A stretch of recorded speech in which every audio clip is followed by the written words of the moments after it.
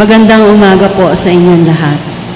Paalala, upang mabigyan ng pagkakataon ang iba na nagnanais mag-alay ng pasasalamat sa Panginoon sa offertory, bukod sa mga nagpamisa, mayroon pong mga alay pasasalamat envelopes na ipinamimigay sa may pintuan ng ating simbahan. Mangyari lamang po na ang mga may alay offertory upang mabasbasan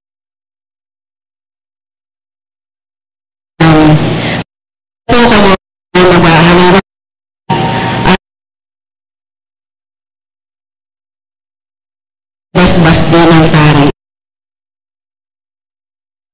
Magsiupo na po ang lahat para sa mga panalangin. Sa ngala ng Ama, ng Anak, at ng Espiritu Santo. Panalangin para sa banal na awa ng Diyos. Pumanaw ka, Jesus, subalit ang bukal ng buhay ay bumalong para sa mga kaluluwa at karagatan ng awa ay bumugso para sa sanlibutan. O bukal ng buhay, walang hanggang awa ng Diyos, yakapin mo ang sangkatauhan at ibuhos mong ganap ang iyong sarili para sa aming lahat. O banal na dugo at tubig na dumaloy mula sa puso ni Jesus bilang bukal ng awa para sa aming lahat, ako ay nananalig sa iyo. O banal na dugo at tubig na dumaloy mula sa puso ni Jesus bilang bukal ng awa para sa aming lahat, ako ay nananalig sa iyo. O banal na dugo at tubig na dumaloy mula sa puso ni Jesus bilang bukal ng awa para sa aming lahat, ako ay nananalig sa iyo. Amen. Panalangin sa intensyon ng banal na Papa. Ama namin, sumasalangit ka, sambahin ang ngalan mo, mapasa amin ang kaharian mo, sundin ang loob mo dito sa lupa para nang sa langit. Bigyan mo po kami ng aming kakanin sa araw-araw at patawarin mo kami sa aming mga kasalanan para ng pagpapatawad sa amin sa kasala sa amin. At huwag mo kaming ipahintulot sa tukso at tiya mo kami lahat ng masama. Aba, Ginoong Maria, napupuno ka ng grasya, ang Panginoong Diyos ay sumasayo, bukod kang pinagpala sa babaeng lahat, at pinagpala naman ang iyong anak na si Jesus. Santa Maria, Ina ng Diyos, panalangin mo kaming masama, ngayon at kung kami mamamatay. Amen. Luwalhati sa Ama at sa Anak at sa Espiritu Santo.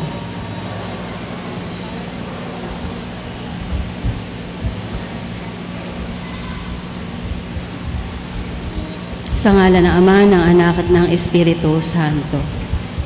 Magsiupo ang lahat. Atin pong isama sa ating mga panalangin ang mga intensyon at pasasalamat ng mga taong nag-aalay para sa misang ito.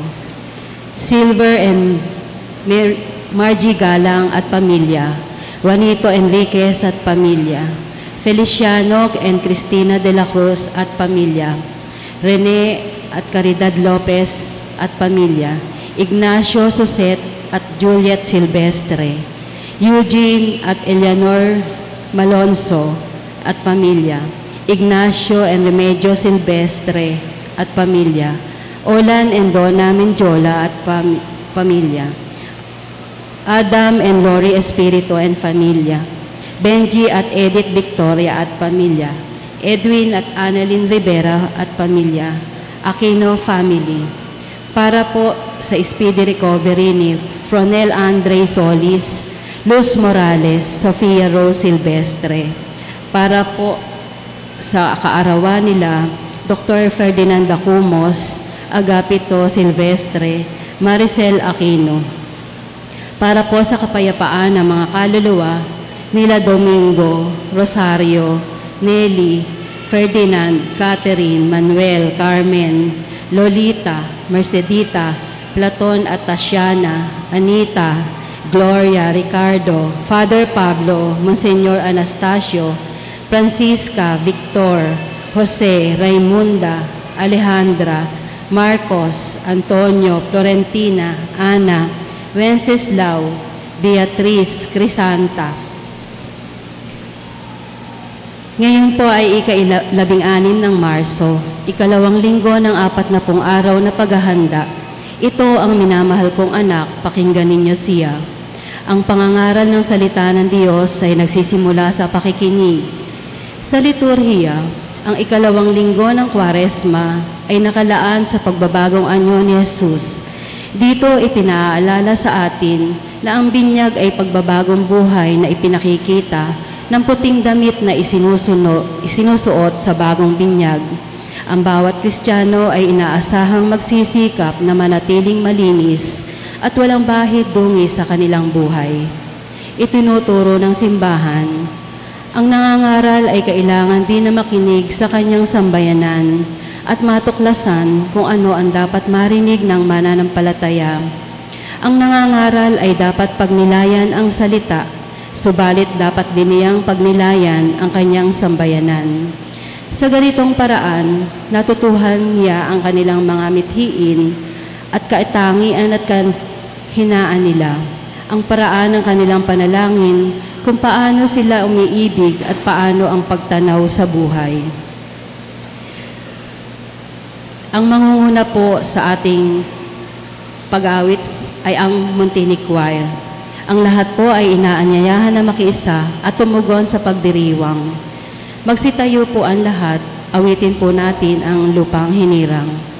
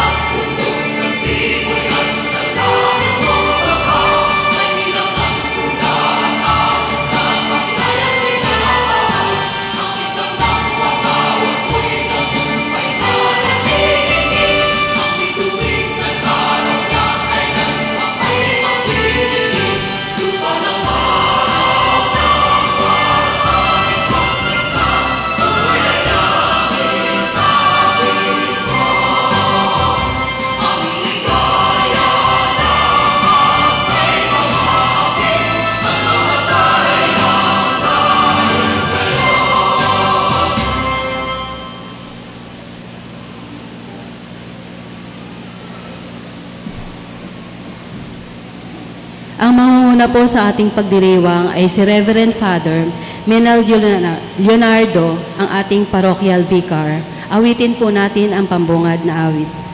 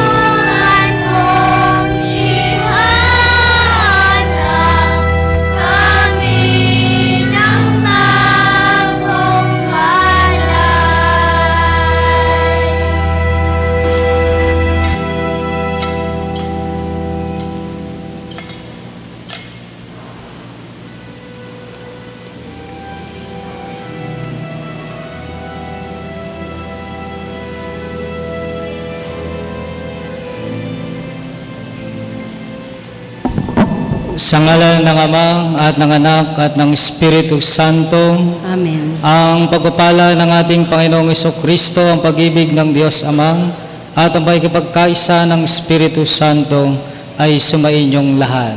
At sumainyo rin. Mga kapatid, upang tayo ay maging marapat sa banal na pagdiriwang, aminin natin ngayon ang ating mga nagawang kasalanan at pagkukulang.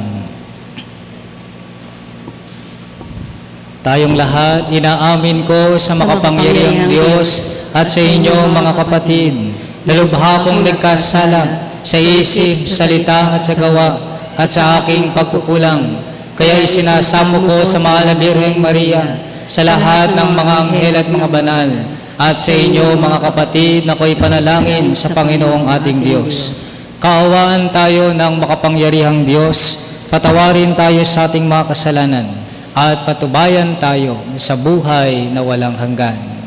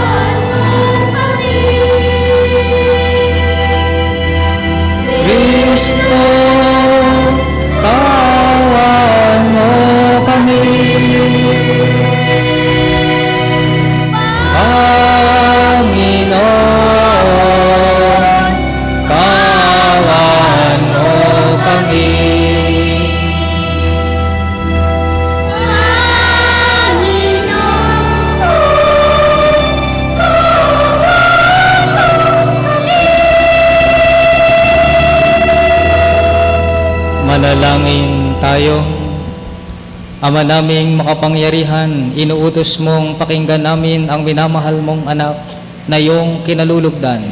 Kami naway makapakinabang sa iyong salita upang sa pagdalisay nito sa aming kalooban, kami lumigaya sa pagkakita sa iyong liwanag. Sa pamagitan ni Yeso Kristo, kasama ng Espiritu Santo, magpasawalang hanggan. Amen. Tayo po ay makinig sa pagpapahayag ng salita ng Diyos.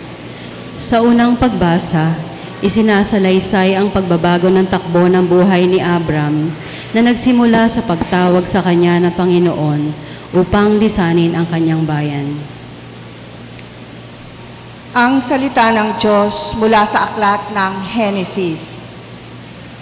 Noong mga araw na yon, sinabi ng Panginoon kay Abram, Lisanin mo ang iyong bayan, ang tahanan ng iyong ama at mga kamag-anak, at pumunta ka sa bayang ituturo ko sa iyo.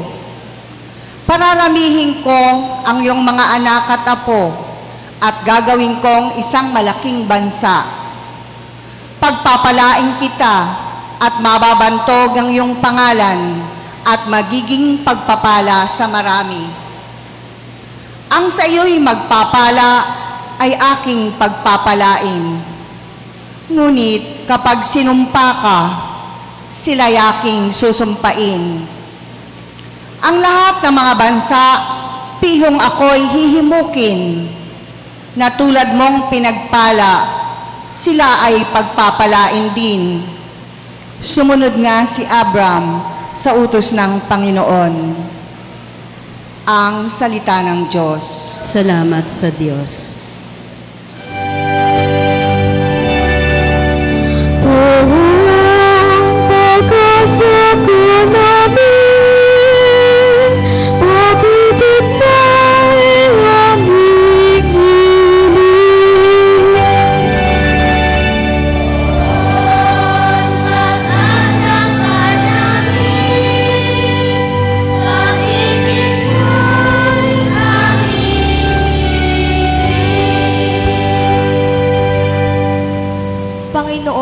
Tapat sa kanyang salita at maaasahan ang kanyang ginawa. Minamahal niya ang gawang matapat ang pag-ibig na sa mundo'y laganap. Tugon.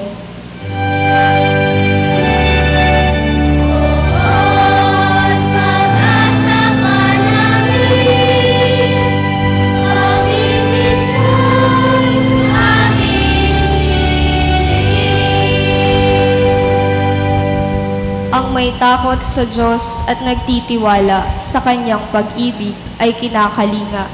Hindi babayaang sila ay mamatay, kahit magtagutom, sila'y binubuhay. Tugon.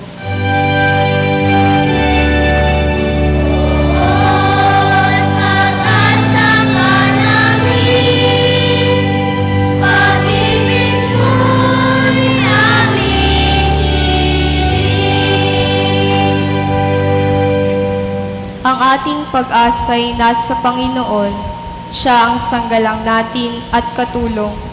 Ipagkaloob mo na aming makamit o poon ang iyong wagas na pag-ibig. Yamang ang pag-asa'y sa'yo'y nasasalig tugon.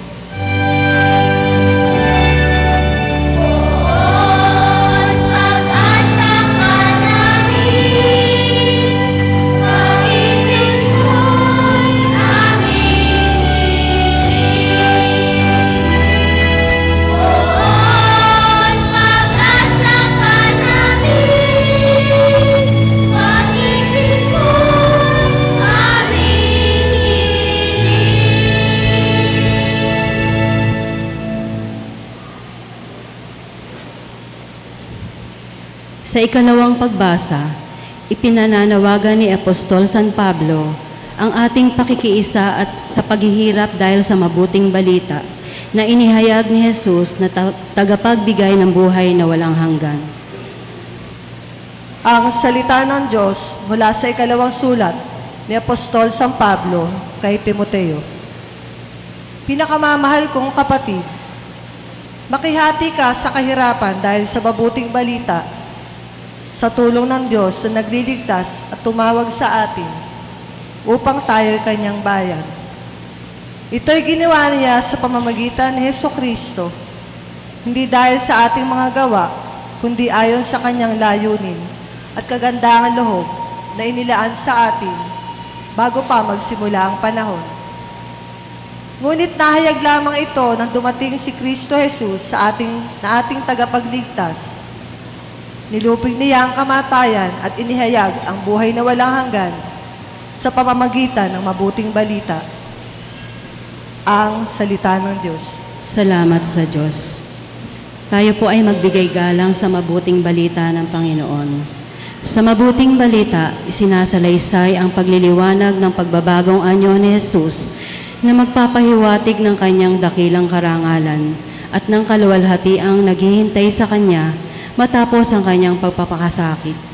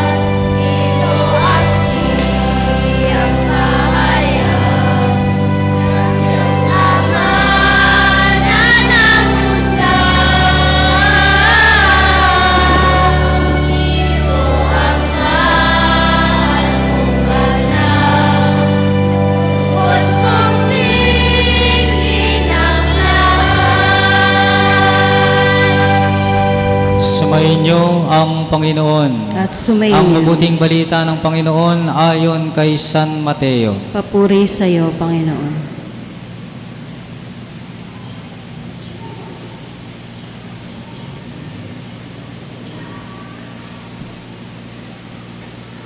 Noong panahong iyon, isinama ni Jesus si Pedro at ang magkapatid na Santiago at Juan. At sila'y umakyat sa isang mataas na bundok. Samantalang sila'y naroroon, nakita nilang nagbagong anyo si Jesus. Nagliwanag na parang araw ang kanyang mukha at pumuting parang busilak ang kanyang damit. Nakita na lamang at sukat ng tatlong alagad, sina Moises at Elias, na nakikipag-usap kay Jesus. Kaya't sinabi ni Pedro kay Jesus, Panginoon, mabuti pa'y dumito na tayo. Kung ibig ninyo, gagawa ako ng tatlong kubol. Isa sa inyo, isa kay Moises at isa kay Elias.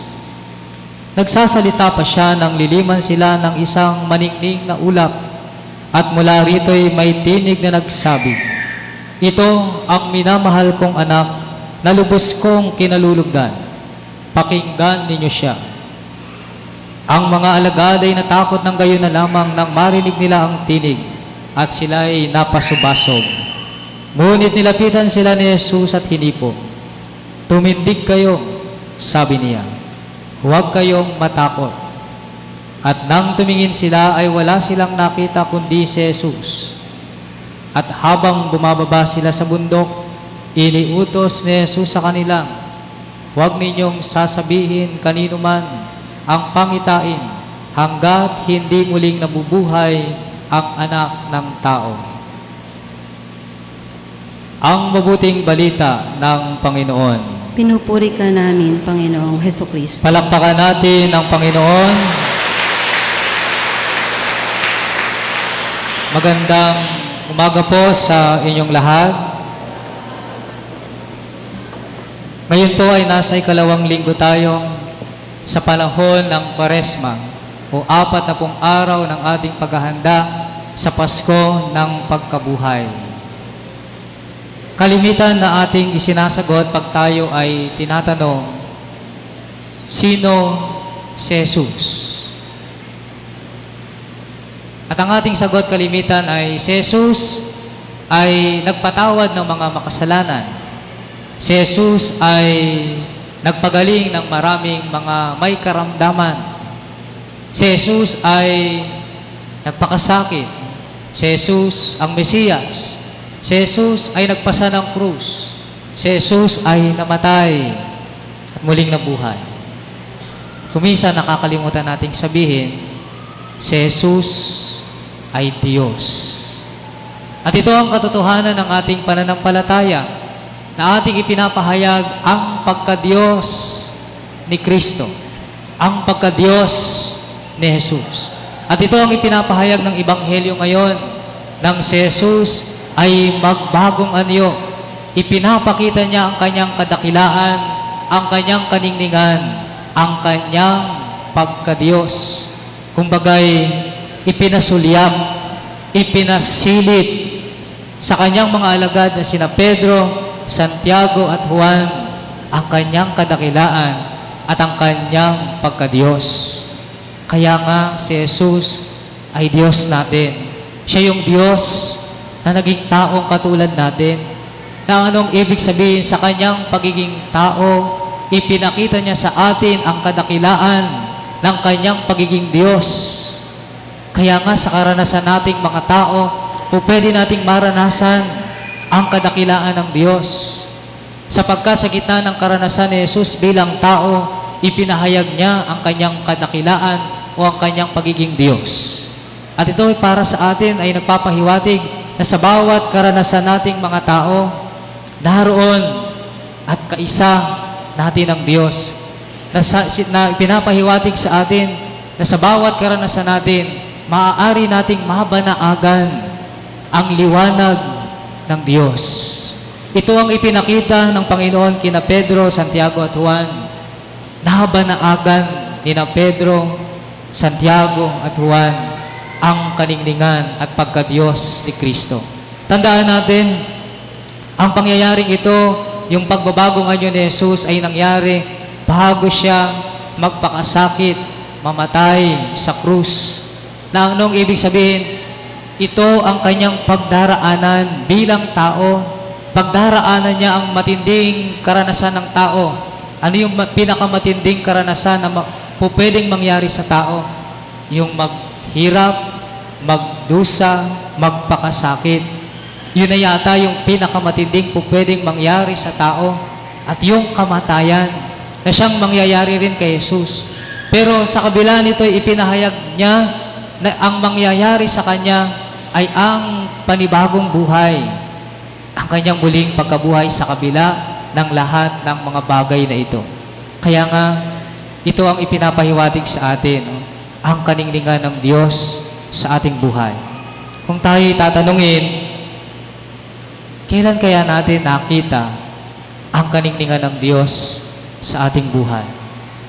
Kung babalikan natin ang mga karanasan natin sa buhay, alin kaya doon sa mga karanasang iyon natin nabanaagan man lamang ang kanyang pagkadiyos?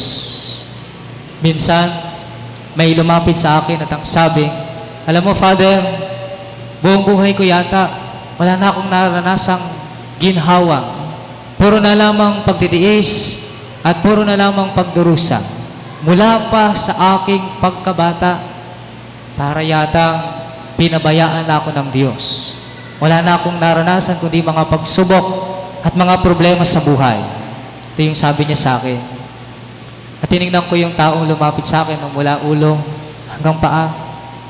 At pagkatapos tinanong ko siya, ilang taon na po ba kayo? Sabi niya sa akin, 40 years old. Ang sabi ko naman sa kanya, alam nyo, nakakabilib nga kayo eh. Biruin ninyo, apat na pong taon na sinasabi niyo sa akin ngayon na mula sa inyong pagkabata ay puro pagtitiis at pagdurusa, puro problema at pagsubok ang dinanas ninyo sa buhay. At tapos naririto kayo ngayon, nakatayo, naririto pa rin kayo ngayon. Isa lamang ibig sabihin niyan, na sa apat na pong taon ng pinagdaanan ninyo, lahat ng iyon ay nalusutan ninyo. Lahat ng iyon napagdaanan ninyo at ngayon ay naririto kayo ngayon. At tinanong ko siya, sa apat na pong taon bang iyon, hindi mo lamang ba nakita, nabanaagan yung liwanag ng Diyos sa buhay mo? Ni hindi mo man lamang ba nakita yung tulong ng Diyos sa buhay mo? Sabi ng Panginoon sa kanyang mga alagad, huwag nung muna ninyong sasabihin ito kanino man hanggat hindi muling nabubuhay ang anak ng tao dahil hindi nila maintindihan, hindi maintindihan ng mga alagad kung bakit si Jesus ay dapat mamatay, dapat ipako sa krus, dapat itakwil ng mga leader ng kanilang lipunan. Hindi nila yun maunawaan kung bakit si Jesus ay dapat na magdusa at mamatay. At marahil sa buhay natin, marami tayong hindi nauunawaan. Hindi natin maunawaan kadalasan kung bakit nangyayari sa buhay natin ang mga pagsubok. O di naman kaya hindi natin maintindihan o maunawaan kung bakit ang mga bagay-bagay na mahirap at pinagtitiisan natin ay dapat mangyari.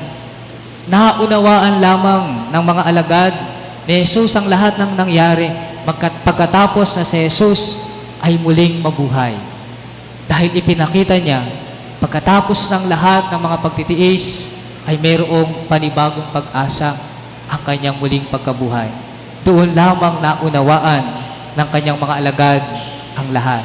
Kaya nga ang paanyaya sa atin ngayon ng Panginoon, balikan natin ang lahat no, sa ating buhay. Tingnan natin mabuti yung ating mga kabiguan sa buhay. Tingnan natin yung ating mga mga pagtitiis, mga pagdurusa, mga pagsubok, mga problema sa buhay. Balikan natin lahat ng iyon. At tingnan natin, nasaan ang Diyos doon? Saan nagdingning ang Diyos sa mga punto ng ating buhay na tayo ay maraming pagsubok? Sabi ng Panginoon, o ang ipinahayag ng Panginoon, sa kanyang pagdurusa at pagtitiis na haharapin, naroon ang panibagong kaningningan ng kanyang kadakilaan. At ito ang buhay natin. Maaring marami tayong mga pupwedeng pagsubok na susuungin sa buhay. Pero ang lahat ng iyon, nawa, dahil sa ating pananampalataya sa, sa dakilang Diyos, na laging kaisa natin, hindi niya tayo pababayaan. Makatatagpo pa rin tayo ng panibagong pag-asa at kaningningan kay Kristo. Ito nawa ang hanapin natin sa ating buhay. Sabi ng Panginoon sa kanyang mga alagad, huwag kayong matakot.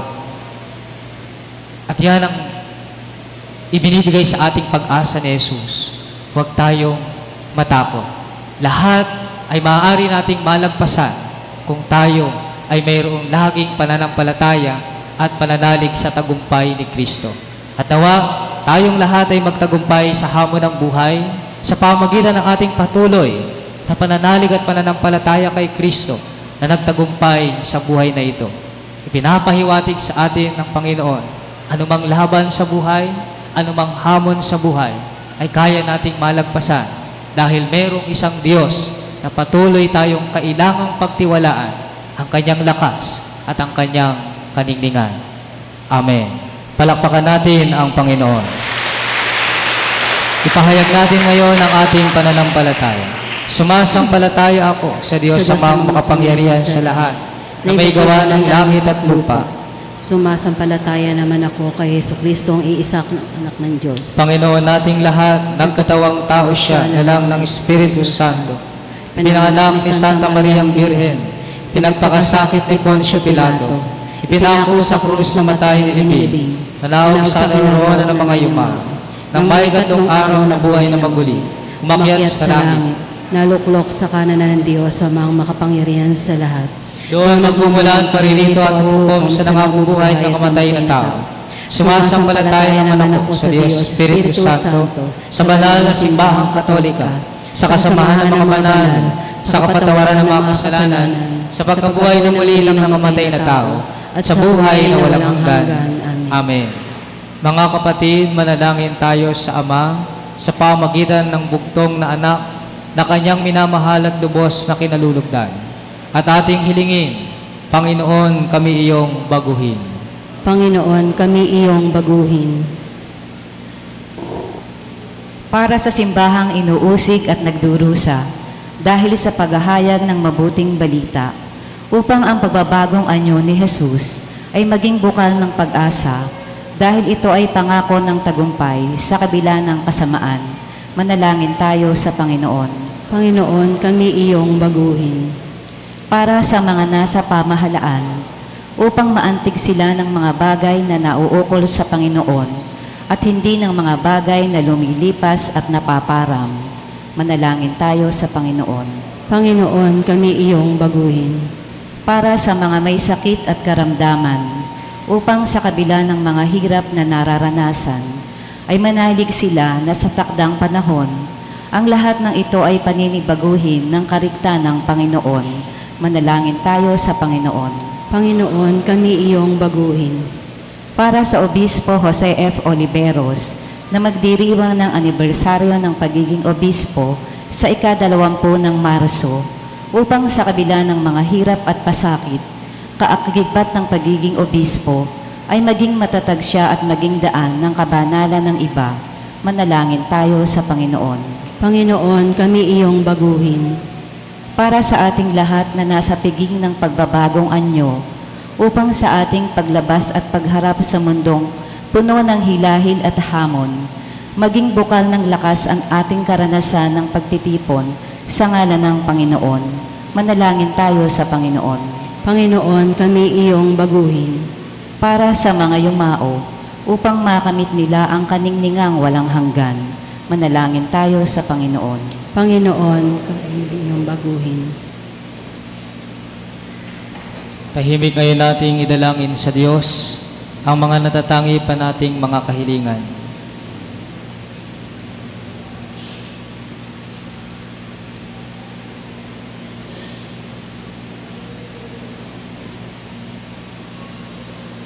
Amang makapangyarihan, pakinggan mo ang daing ng iyong sambayanan sa panahong ito ng Kwaresma.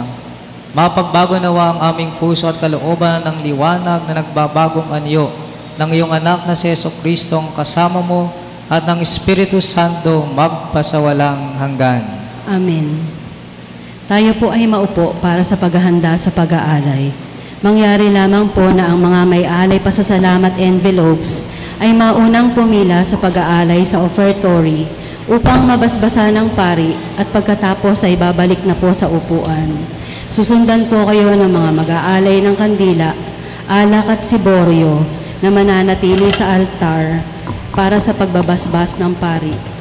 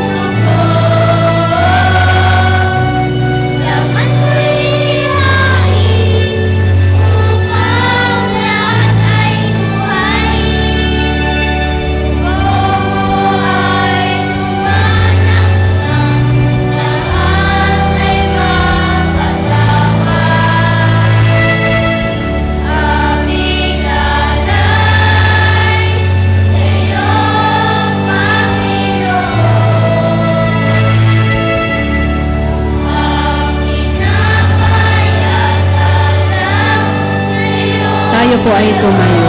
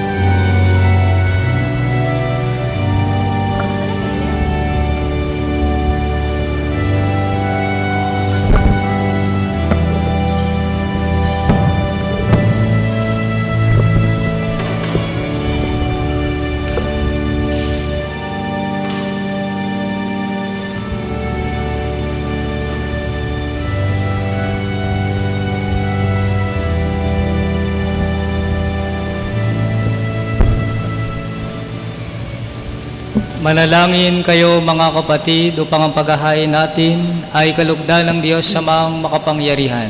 Tanggapin nawa ng Panginoon itong paghahain sa iyong mga kamay sa kapurihan niya at karangalan sa ating kapakinabangan at sa buong sambayanayang banal. Ama naming lumikha ang paghahain ito ay magdulot nawa ng kapatawaran ng aming mga kasalanan at magpabanal sa aming buong katauhan para sa pagdiriwang ng Pasko ng pagkabuhay sa pamagitan ni Yeso Kristo kasama ng Espiritu Santo magpasawalang hanggan. Amen. Sumainyo ang Panginoon At sumainyo Itaas sa Diyos ang inyong puso at diwa. Itinaas na namin sa Pasalamatan Panginoon. natin ang Panginoong ating Diyos. Marapat na siya ay Ama pasalamatan. naming makapangyarihan, tunay ngang marapat na ikaw ay aming pasalamatan sa pamagitan ni Yeso Kristo na aming Panginoon nang maipagtapat niya sa mga alagad na siya'y laang mamatay para sa lahat.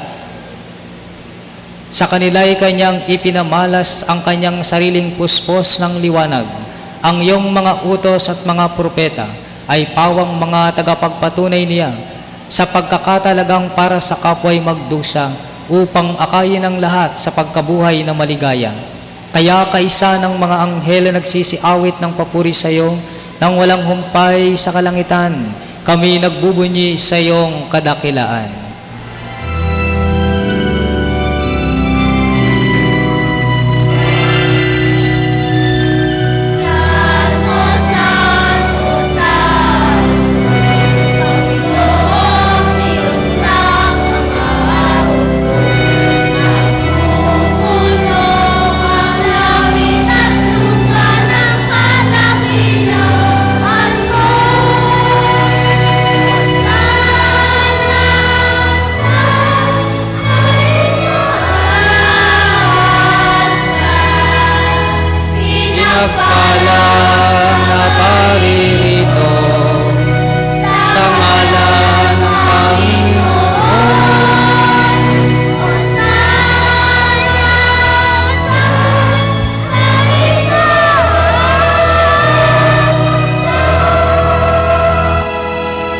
Ama naming banal, ikaw ang bukal ng tanang kabanalan, kaya't sa pamagitan ng iyong Espiritu, gawin mong banal ang mga kaloob na ito upang para sa amin ay maging katawan at dugo ng aming Panginoong Heso Kristo.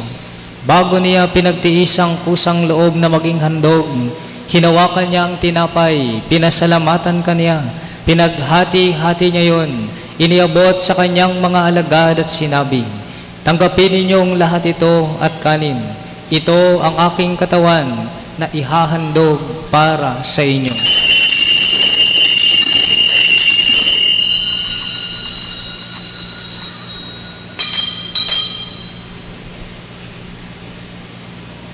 Gayun din naman noong matapos ang hapunan, hinawakan niya ang kalis, muli kanyang pinasalamatan. Iniabot niya ang kalis sa kanyang mga alagad at sinabi, Tanggapin ninyong lahat ito at inumin. Ito ang kalis ng aking dugo, ng bago at walang hanggang tipan. Ang aking dugo na ibubuhos para sa inyo at para sa lahat, sa ikapagpapatawad ng mga kasalanan. Gawin ninyo ito sa pag-alala sa akin.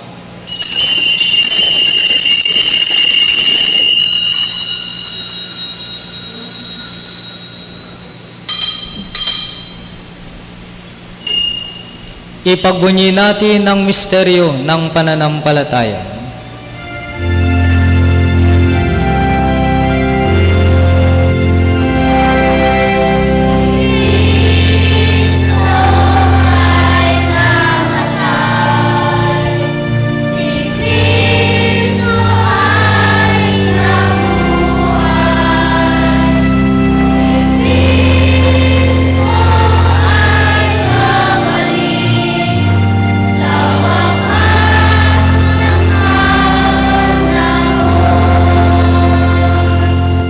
Ama, ginagawa namin ngayon ang pag-alala sa pagkamatay at muling pagkabuhay ng iyong anak.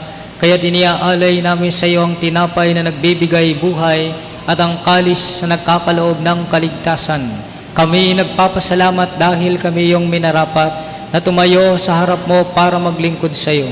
Isinasamo namin kaming magsasalo-salo sa katawan na dugo ni Kristo ay mabuklod sa pagkakaisa sa pamagitan ng Espiritu Santo. Ama, lingapin mo ang iyong Santa Iglesyang laganap sa buong daigdig.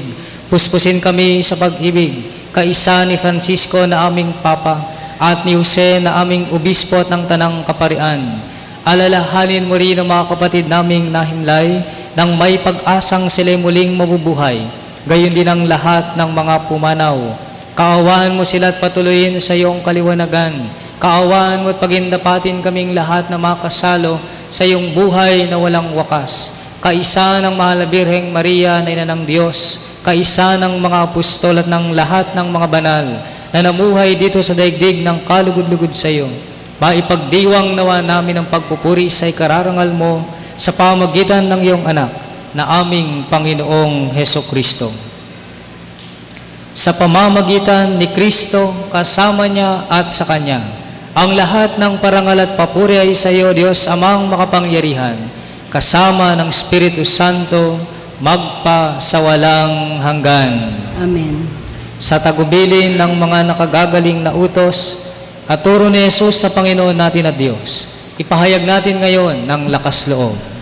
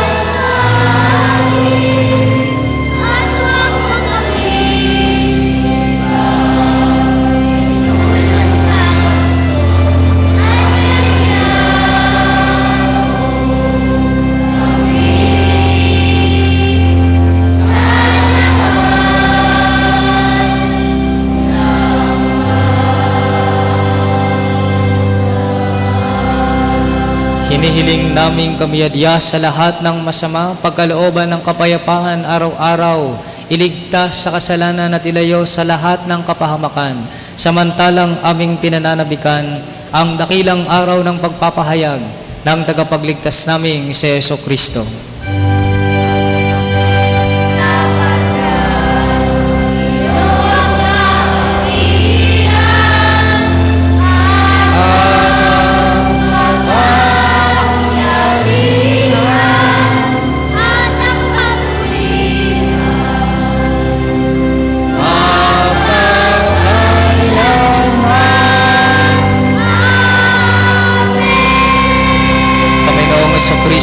Sinabi mo sa iyong mga apostol, kapayapaan ang iniiwan ko sa inyo, ang aking kapayapaan ang ibinibigay ko sa inyo. Tunghayin mo ang aming pananampalataya at huwag ang aming mga pagkakasala. Pagkalooban kami ng kapayapaan at pagkakaisa, ayon sa iyong kalooban, kasama ng Espiritu Santo, magpasawalang hanggan. Amen. Ang kapayapaan ng Panginoon ay laging sumainyo. At sumayin At niyo. bigayan kayo ngayon ng kapayapaan sa bawat isa.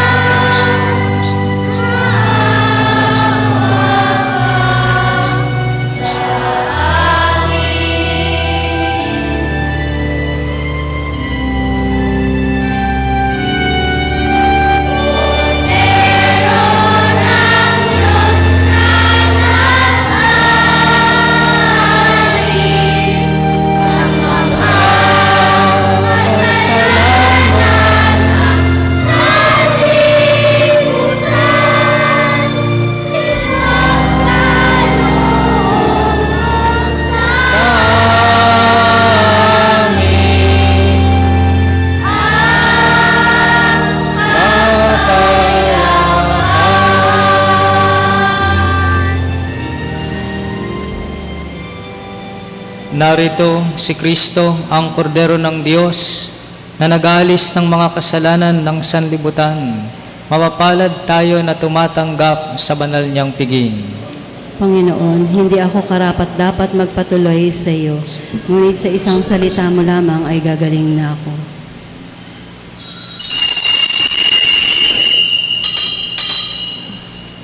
Mangyari lamang po hintayin ang atas ng Asherets bago pumila sa pangungumunyon. Salamat po.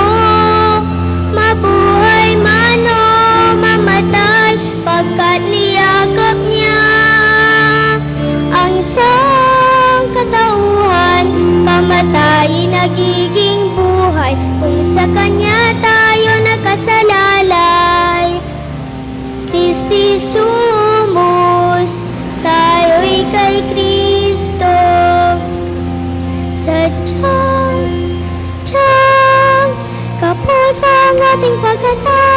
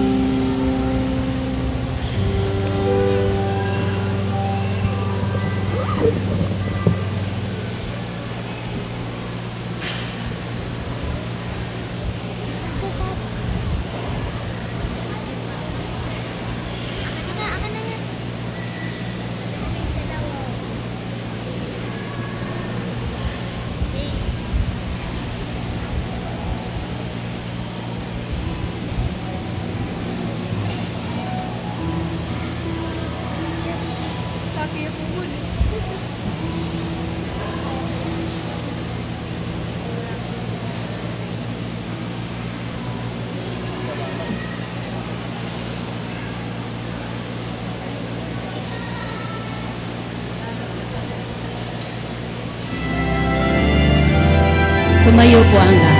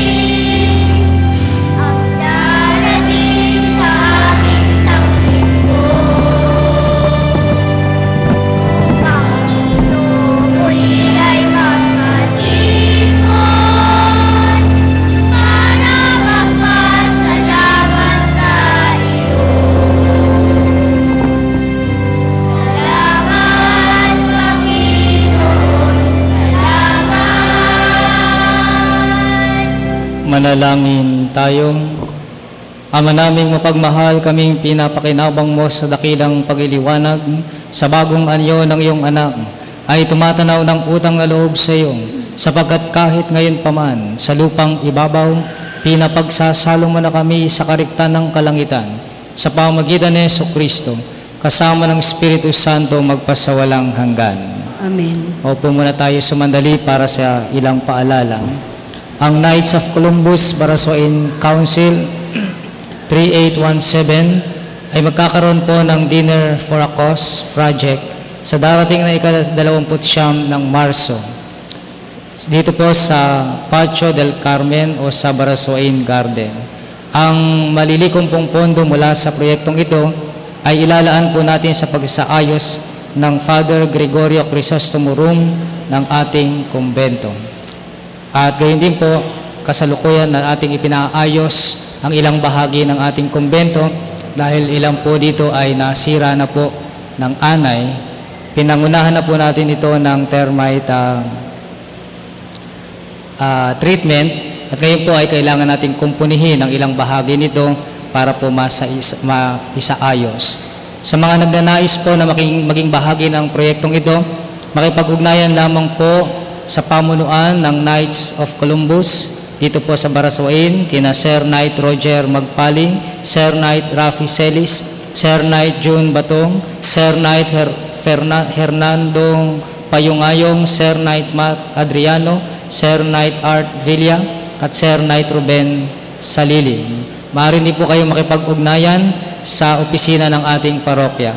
Meron po tayong mga brother knights na nasa Patio del Carmen sa ng simbahan upang kayo po ay paglingkuran sa mga nagnanais pong bumili ng nasabi pong mga tickets. At isa pa po, muli ay pinapaalala sa atin na tayo ay mayroong palagiang benediction ng Blessed Sacrament sa araw ng linggo sa ganap na ikalima at kalahati ng umaga bago po ang ah, magsimula ang misa na pang alas 6 ng umaga. Muli po ay inaanyayahan namin kayo na puntahan ang ating ah, o ang Groto ng Mahal na Birhen ng Carmel na matatagpuan po dito sa ating patio ng simbahan. Dito po yun sa gilid, sa gawing kanan po ninyo, may daan po dito. Maaari nyo po itong puntahan at meron po doong ah, wishing well. no? Paalala lamang po na huwag po nating inumin ng tubig, idampi lamang po natin ang ating kamay dito. no? Naglagay po tayo ng tanging lugar para sa mahal na ina. no? Sabi ni Santiago sa kanyang sulat, makapangyarihan ang panalangin ng taong matuwid. Kaya tayo umihiling ng mga panalangin sa mga santo at lalo tikit sa kay Maria dahil sila ay mga banal at mga matutuwid, na, naging matuwid na tao at ang kanilang panalangin ay makapangyarihan. Kaya sa tuwing tayo ay tutungo dito no, sa groto ng Mahal na Birhen ng Carmen at bumulong ng ating panalangin ay hinihiling natin na tayo ay kaniyang ipagdasal upang ang ating mga panalangin ay makarating sa Diyos. Sabi ni San Santiago, uulitin ko, ang panalangin ng matuwid na tao ay makapangyarihan.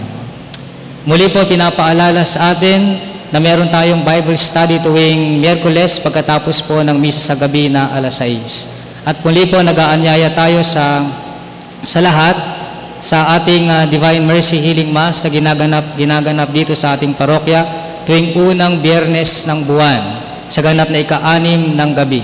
Inaanyayahan po ang mga may karamdaman at maari po ninyong dalhin ang larawan ng mga may sakit na inyong kaanak at upang sila po ay maipagdasal at mabasbasan.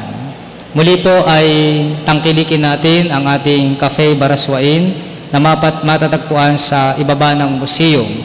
Ang layunin po nito ay makalikom po tayo ng pondo para po sa Alay Aral sa Kabataan Scholarship Project. Marami pong salamat. Magsitayo na tayong lahat at ating dasalin ang panalangin sa Mahal na Birhen ng Carmel. Abag Ginoong Maria, napupuno ka ng grasya, Ang Panginoon Diyos ay sumasayo. ang